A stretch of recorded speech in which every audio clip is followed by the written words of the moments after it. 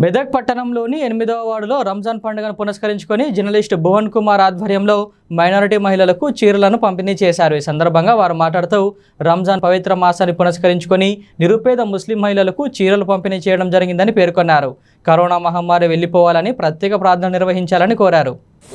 ముస్లిం సోదరులకు సోదరులు మనులకు రంజాన్ పండుగ శుభాకాంక్షలు. పవిత్రమైన రంజాన్ మాసంలో మసీదులో కానీ ఇళ్ళలో కానీ ఈ కరోనా నేపథ్యంలో కానీ కొద్దిగా డిస్టెన్స్ శానిటైజర్ మరియు మాస్క్ వాడి వాళ్ళు చేసే యథావిధి రోజు ప్రార్థనలు స్వచ్ఛమైన అందరికీ కరోనా పోవాలని చెప్పి వాళ్ళు కూడా మనసారా కోరుతూ.